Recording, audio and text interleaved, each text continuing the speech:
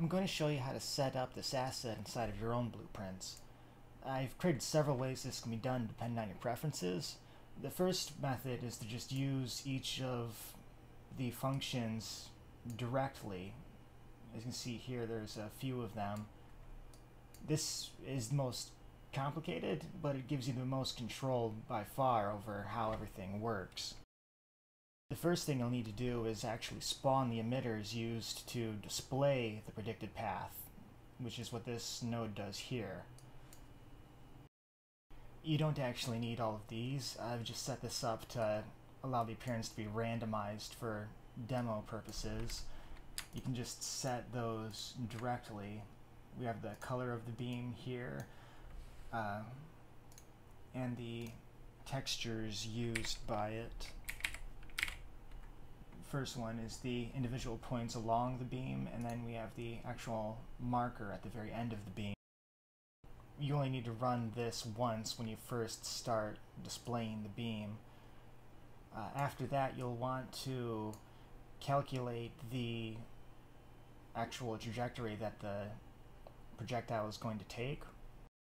This one you'll want to run every frame while aiming for that reason, I've got it hooked up to the event tick here, but you can see I also hooked it up to a gate. So the gate will only open and start running event tick when you start aiming, and then the gate will be closed again and stop running every frame when you stop aiming, which you can see here. The trajectory calculation has a few different versions of this function depending on what kind of line trace you want to run.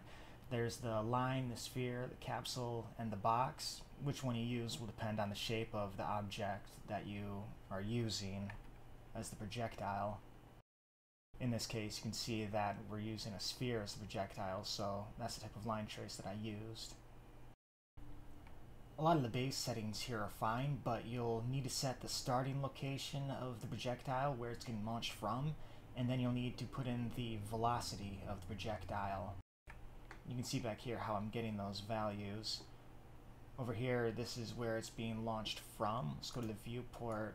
I put a little marker here at the end of the barrel where it's being launched from. And then over here, we're getting the control rotation and launching it directly outward from there. So it gets fired forward from where the camera is aiming. In this particular case, we're actually using projectile movement on the projectile.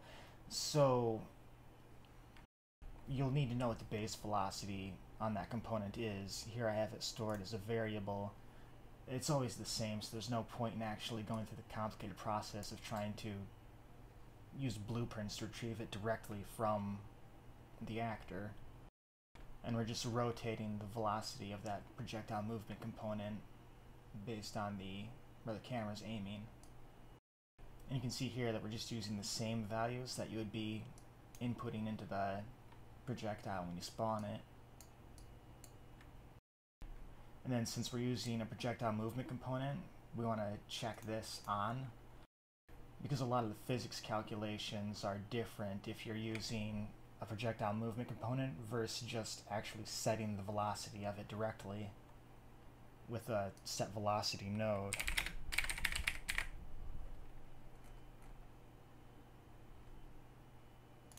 Something like this if you're using this, then you would not have that on. Afterward, we'll actually place the emitters spawned earlier back here so that they all line up with the calculated trajectory here. This is another thing that'll run every frame immediately after doing this. We just hook up the trajectory point output from the calculation into here and then the out hit and then the other two come directly from the initial spawning of the emitters here. And then once we're done aiming, we'll just destroy each of these emitters that we spawned earlier. There are also separate functions that can be used to change the color of the emitters after they've already been spawned here or to change the textures of them after they've already been spawned. This is useful if you, let's say, want to have the beam change to a different color depending on how far away you're aiming, or maybe you want to have the ground marker change depending on what you're aiming the beam at. In the case of the demo project here, I've made it so that the color and the texture get randomized each time you right click while you're aiming. Next I'll show you one of the macros that really simplify setting everything up. This is the full version of the macro here. It cleanly combines together all of those nodes I showed you earlier and makes it a lot easier to set up, but you also do have a little bit less control over it. The different inputs here basically activate each of those different nodes I showed you earlier. Here you would run this to spawn the emitters, perform the trajectory calculation, and then destroy the emitters once you're done aiming. And you can set the color or the texture. And then down here we have all of the different settings for each of those individual nodes. You can see it's a little bit of a mess though, having all of these options mashed together.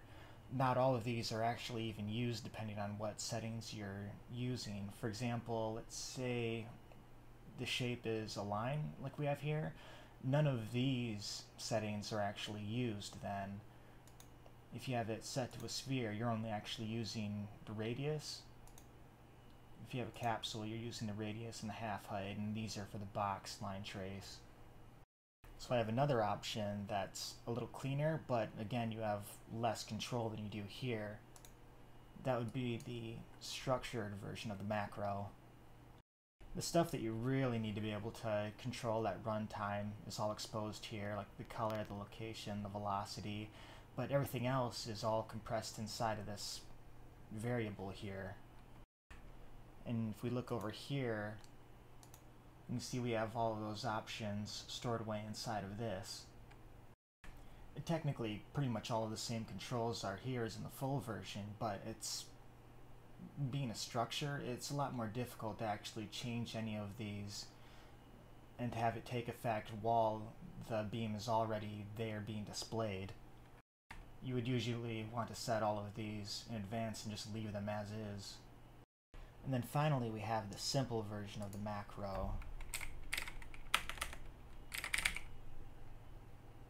Let's see here. This gives you the least options for controlling how it works, but it's by far the easiest to set up. It's used mostly for debugging or prototyping. You only have the bare minimum options available here. It's always just a simple beam, and it only, only does the line trace. You also can't change any of the physics involved in case you have a non-default like physical material assigned to anything. You can also use this if you don't actually need any of those extra settings, if you just need the most simple version. Hopefully this guide was helpful to you. I have more detailed documentation linked below in the description.